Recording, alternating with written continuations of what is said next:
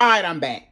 All right, now look, today I'm finna show y'all how I make crab rangoon. And it's honestly really simple. It's one of my favorite little side dishes, one of my favorite appetizers to get from my local Chinese spot, but sometimes I just feel like making it myself. So let me show y'all how I do it. You're gonna need black pepper, garlic powder. Today I'm cooking mine in canola oil. You can cook it in vegetable oil or you can air fry it. I have a separate video available on my YouTube channel where I make a garlic and herb crab rangoon. And in that video, I cook them in the air fryer. So if you want to see how to prepare them in the air fryer, go check that video out. You're going to need some rice vinegar, one block of cream cheese, some green onion, two packages of soy sauce, some wonton wraps, and then of course the imitation crab. You see that? You see that? You see that? Don't ask me for the damn ingredient list. Now, come on. Do yourself a favor and make sure that you have your cream cheese out of the refrigerator about 10 or 15 minutes prior to you starting to cook. So that way it can be somewhat soft so that it's easier to mix everything in it. Again, I'm using eight ounces of the imitation crab. If you want to use real crab meat, you can, but to be honest, that's not really what this dish is. It's just, it's not going to taste the same if you use real crab meat. So just understand that if you're going to the Chinese spot and you're getting imitation crab meat, it's made with imitation crab. And I'm using full eight ounces and I'm going to chop this down into a really, really small mince. Now, because I'm making a small batch today, I'm actually only going to use one dry measuring cup full of the imitation crab meat. As you can see, I've chopped it down to a nice small mince. I'm to use the rest of that into like a salad or something like that. But I'm only using one block of cream cheese, so we're only to add in one cup. That'll be more than enough. You can honestly add in as many or as little green onion as you want. I do not want it too onion heavy, so I'm only to use about this much here. And even once I mince it down, if it looks like it's too much, then I'll probably end up measuring it out and telling you guys exactly how much I use. So let me chop this down and then I'll let you guys know. That actually turned out to be the perfect amount, and I only used the greens. I did not use the white, so now I'm going to go on ahead and add that to the bowl as well. Add in your crushed black pepper. Just a dash of garlic powder, not too much. A little bit goes a long way. We're going to add in one fourth of a teaspoon of the seasoned gourmet rice vinegar. And I'm going to start off with adding in one pack of the soy sauce, give it a mix. Once I taste it, if I feel like it needs any additional salt, then I will add in the second pack at that given time. I like to then go in with the fork and mix it all together. I've gone in and given it a taste and decided that I do want to go on ahead and add in the second pack of soy sauce. So now I'm going to go on ahead and give that a full mix. And now that I have the saltiness exactly where I want it, I'm going to go in with a small pinch of sugar and a pinch of accent or MSG, but that's optional. All right, so assembling the wontons is actually really, really simple. You guys saw the pack of wonton that I had. It's very, very thin. For all of you bastards that's about to say something smart, honey, I was out in the garden yesterday and got stabbed by a bunch of um, uh, bushes that had uh, thorns and stuff on it. Um, so I'm going to take this, lay it down like a diagonal, right?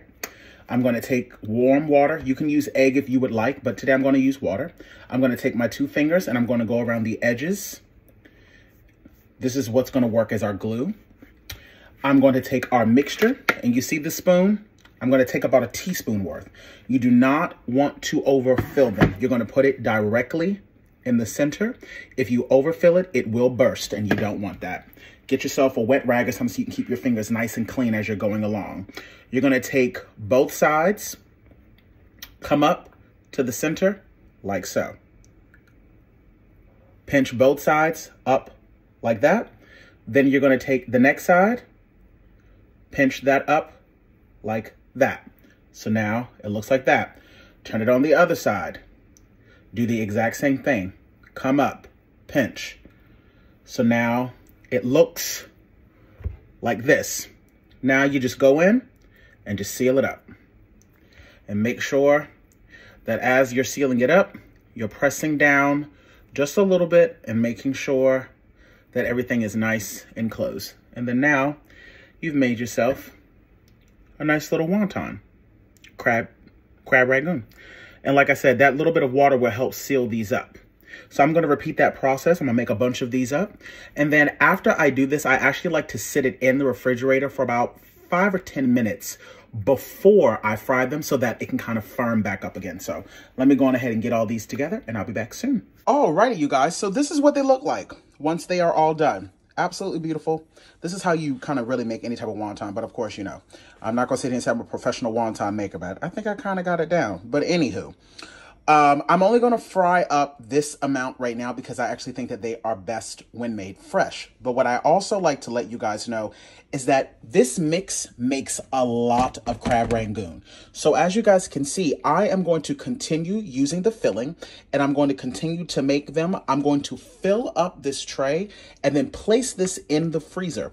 Once they start to get frozen, I will then transfer them over to a frozen Ziploc bag. And then that way I don't have to worry about them sticking. And then I will have crab rangoon on standby whenever I want them. So just letting you know, you will have a lot of filling. So you can either choose to fry up a bunch of them and have it for a party, or you can do like I do, make all of them up, fry however many you want at the time, and then freeze the rest.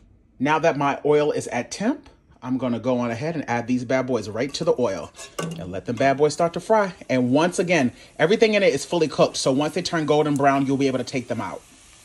And as you can see, they take no time to cook, you guys. Just be very gentle as you're tossing them around. I love to use this because if there's a side that is like trying to not brown properly and I need to kind of hold it over, I can hold it just like that so that it can brown fully. As you can see, and then it'll stay kind of flipped down. But, you know, once they're golden brown, you can take them on out. Oh my God, they are just absolutely delicious. My God. Alrighty, y'all, these bad boys are nice and done. So now that they're golden brown, I'm gonna transfer them over to a wire rack so that any excess oil can kind of drip off. Turn that heat off, just like so. And I like to let these damn things cool down for a few seconds before I attempt to eat them, or you will burn the living hell out of yourself. And just like that, you've made yourself some homemade crab rangoon. Serve it up with your favorite sweet and sour sauce. They are perfectly crispy, full of flavor. Mm, mm, mm. Let them cool off, though, before you eat them, child. And I know y'all want to see me eat one of these damn things. Mm, mm, mm. Look at this. Tell me this don't look like this came from the local Chinese spot.